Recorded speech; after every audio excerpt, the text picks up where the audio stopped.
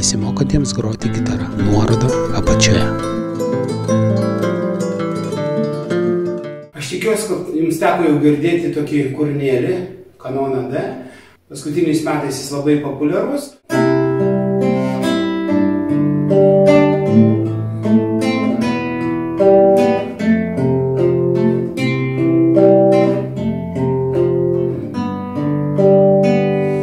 Gražus, labai naudingas tuo pačiu. Nori groti gitara, atsisiųsk programėlę gitarija. Nuoroda apačioje. Ir siūlyčiau pagroti tokį kaip pratimą. Pradžią ir vis dėlto ne nuo D akordo, o nuo C, nes bus mažiau bar akordų ir bus truputį lengviau kairės rankos pirštams. Ir tuo pačiu labai naudingas pratimas dešiniai rankai.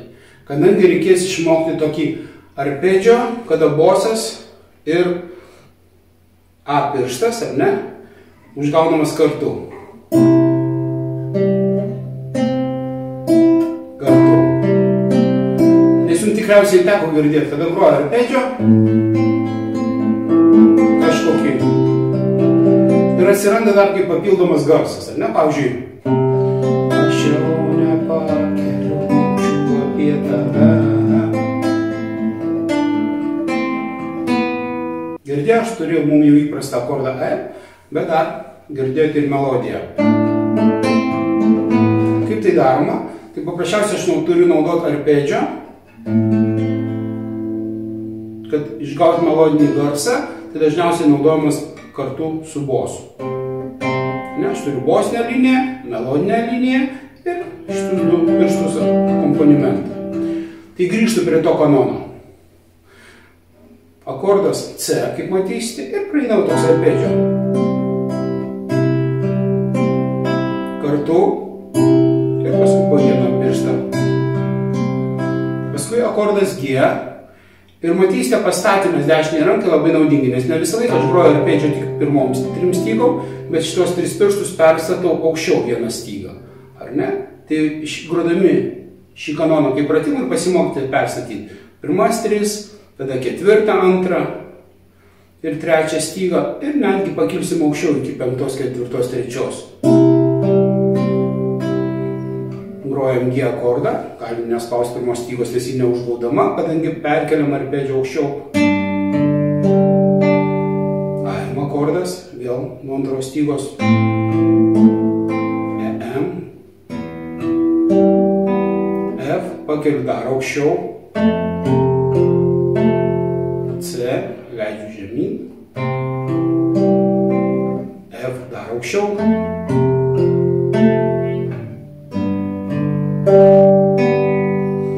Taigi aš mokosi ne tik arpedžio, šiuo atveju su dešinė ranka, bet suprantu, kad aš galiu keisti aukštį, pastatymą dešinės rankos.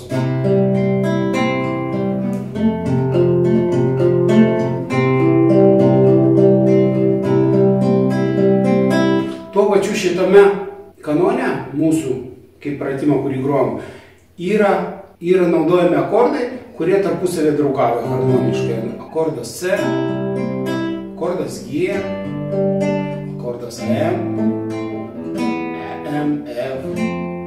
Na, tik net vienas, du, trys, keturi, penki akordai. Ir šitas akordų junginys, arba tiksliau junginiai C, D, F, AM, EM labai dažnai yra sutinkami įvairiausiose dainuose ir kūriniuose. Taigi jums bus tuo pačiu kaip ir pratimas kairiai rankai pasimokyti jungti akordus. Ir kada mes grojame arpedžio, tai mes turime šiek tiek daugiau pastangų įdėti į kairę ranką, kad viskas švariai skambėtų. Nes jeigu aš groju akordą ir kažkokia vastyba neskamba, katastrofos jokios nėra. Bet kada jau grosiu arpedžio ir neskambės, nu bus negražu paprasčiausiai. O prisimenat, kaip muzika nėra teisinga ar neteisinga. Muzikoje turi būti arba gražu, arba visai nereikia. Taigi, taip pat suprasite, kad kairiai rankai, kada grojame arpedžio, nebūtina spausti visus pilnus akordus. Ne? Aš, pavyzdžiui, turiu akordą C, aš galiu nespausti antro piršto, nes vis tiek ketvirtos stygos šiuo atveju nenaudojau. Kaip ir G akorde, aš galiu nespausti tiek pirmos stygos, tiek penktos, nes bose naudosiu tik tai šeštą, ne? Taigi galiu turėti tik du pirštus. Kaip aš vadinu, toks taupus režimas, ekonominis. AM akordą, aš užgaunu bosą penktą, reiškia ketvirtos nenaudosiu irgi galiu tik du pirštus naudoti. Galiu net pakeisti šiuo atveju pirštus. AM akordė, kadangi grosiu penktą ir antrą, trečią, ketvirtą, nieko pakeisti negali, šiuo atveju naudosiu visus. O EM nenaudoju pastatytos ant penktos stygos antram skirsnė, reiškia galiu ir nespausti. Galiu pirštą pakeisti. Matot, koks patogus sujungimas šiuo atveju gaunasi. Vietoj, kad AM ir perstatyti į EM, Aišku, taip verta daryti, jeigu norit pasimokyti ir akordus, bet jeigu sugrot ir sujungti gražiai kūrinį, tai galite pataupyti pirštus. Tik pakeliu pirštus du, palieku stovėti. Ir pamatyti tokioje pozicijoje jam akordą irgi yra užduotis tokia gera.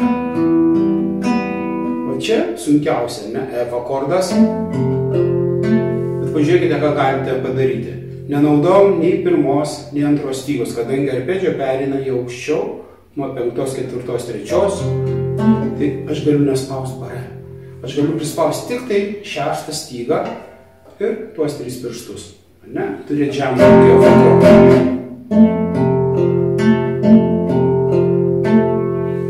Trečią pirštą palieku, vėl C.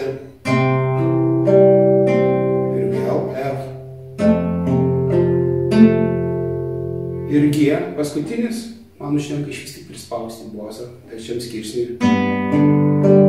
Nes viršui melodija vietoj Renatos, man antros stygos trečiam skirsnė, neatsirado C, laisva antra styga. Taigi šitas pratimas jums palengvins dar ir darbą su F akordu, kadangi iš pradžių galite nespausti bare, tik vieną stygą. Ir pakelti taip F akordą per apatinės stygas. Trūks aukštų, bet rokavai šiek tiek skubės. O paskui tą pirštą pamiškai leisti ir jau jį spausti. Taigi C akordą jums su F, be barai iš pradžių. O paskui jau galime jį pabiški statyti, lavinti ir naudoti bare.